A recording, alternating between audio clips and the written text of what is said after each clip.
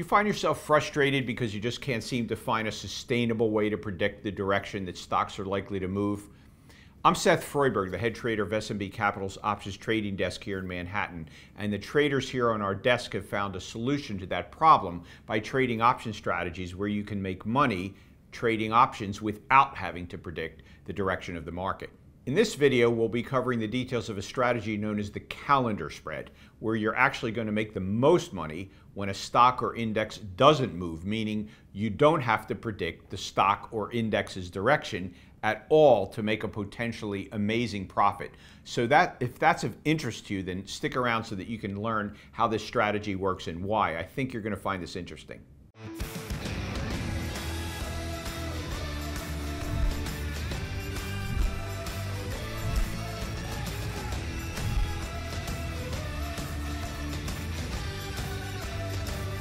Hi, I'm Seth Freudberg, and I'm the head trader of SMB Capital's options trading desk.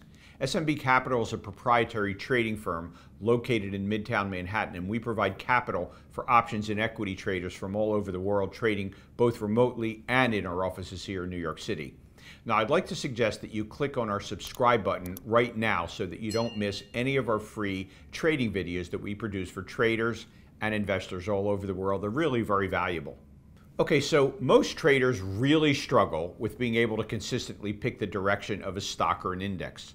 There's so many factors that can affect the moves that take place in the market that it can be overwhelming to some traders to develop consistency picking direction. And that's exactly why some traders gravitate towards what are known as market neutral options trades because there actually are a large number of ways to make money trading options on stocks or index without having to predict direction at all. You just need to know how to structure the trade, and if things go well, you can make money very quickly in a market which is barely moving at all. And I'm about to show you a pretty dramatic example of this using index options, but I want to make sure that everyone watching this video has a good handle on how index options work. So we're going to do a really quick review of how they work. And for those of you familiar with how index options work, just hang in there. This is going to be really quick, and then we'll jump right back into teaching you how to trade calendar spreads, which is going to be pretty eye opening.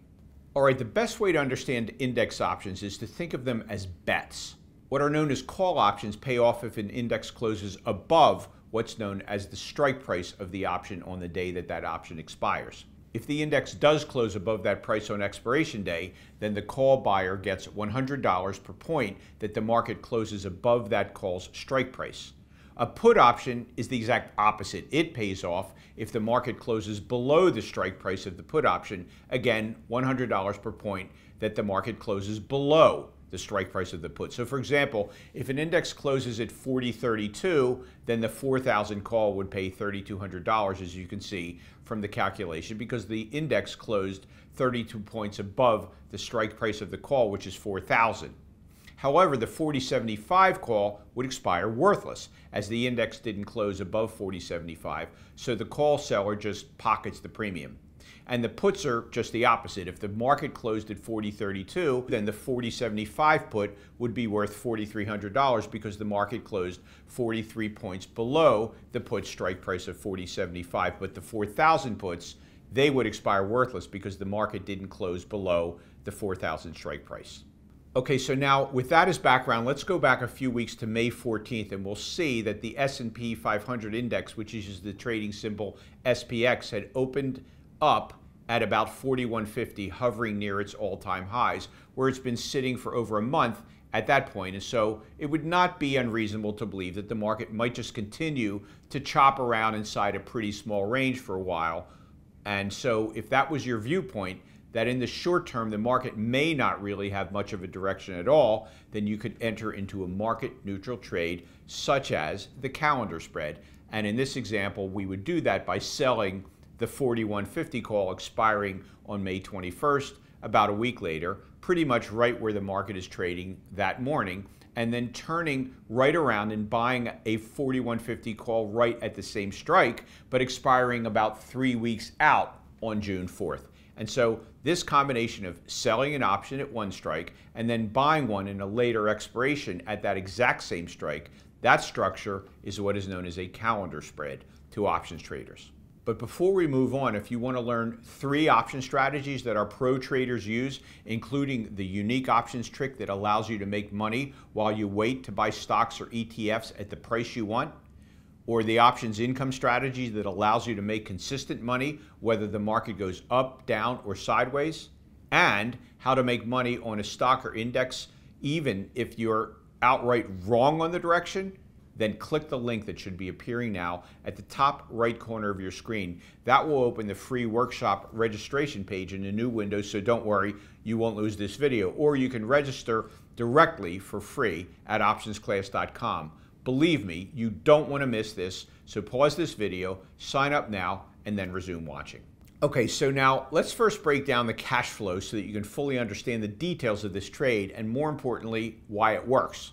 So we'll start with the option that we buy that expires on June 4th. And as you can see, the, that costs $60.45, but don't forget that each call option pays off $100 per point above its strike price. So you multiply that by $100, and we bought three of them. So when we multiply it all together, we get a total cost of $18,135. However, at the same time that we did that, we sold three of those 4150 calls expiring on May 21st.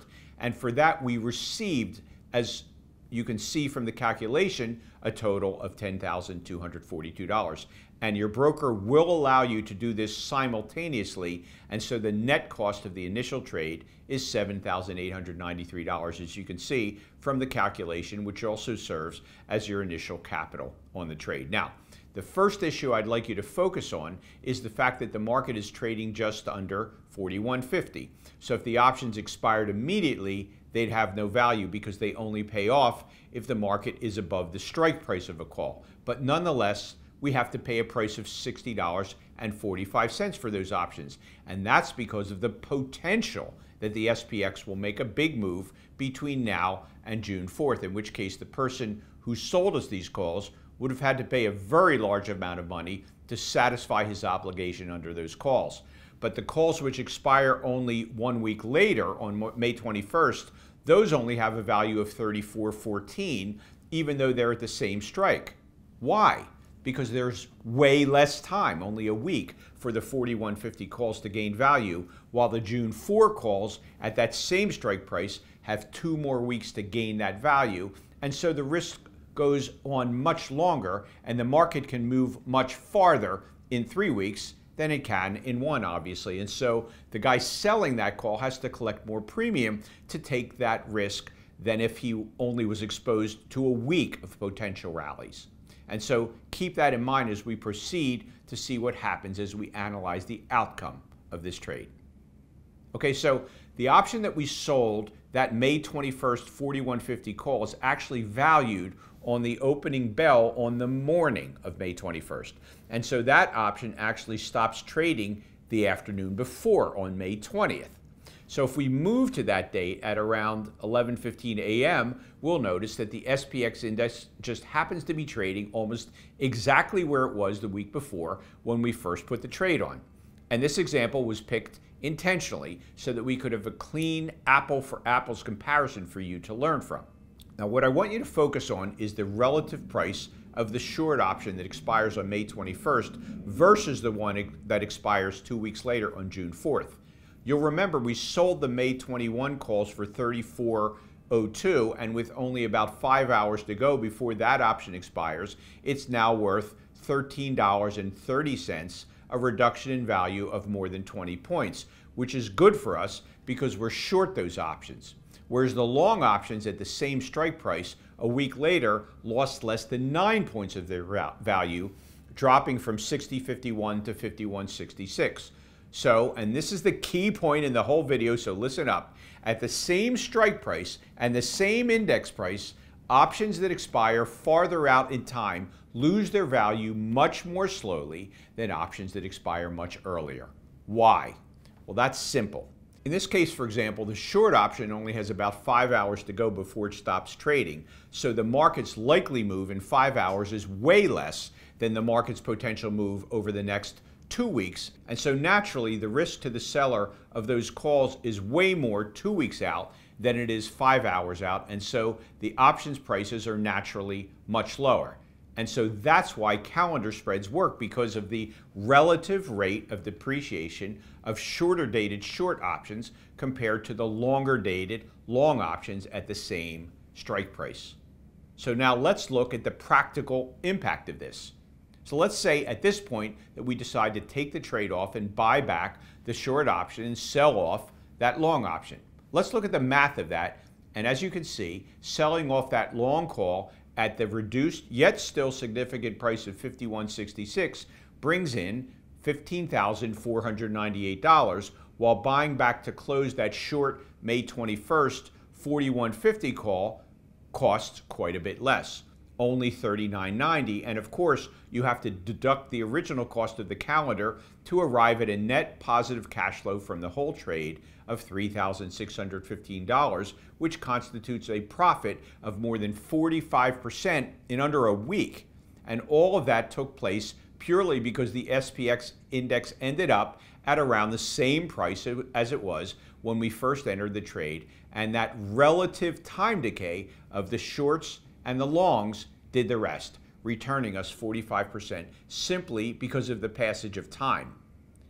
And so what I'd like you to take away from today's video is the fact that to make money trading options, the market doesn't have to move at all. You simply have to use the relative time decay of long and short options to your advantage, which you can easily do through the use of the calendar spread once you become proficient in options income trading. Now, just to remind you, if you're serious about your trading, you need to check out the free intensive options class that we're currently running, where you'll learn three real world option strategies that our professional options traders use all the time. Just click the link that should be appearing now at the top right corner of your screen, or you can just head on over to optionsclass.com to register for this free workshop directly. It really is a rare opportunity for retail traders and investors to learn directly from Wall Street traders, but that's exactly what you'll be getting through this free online workshop. So click the link to sign up now before you miss it.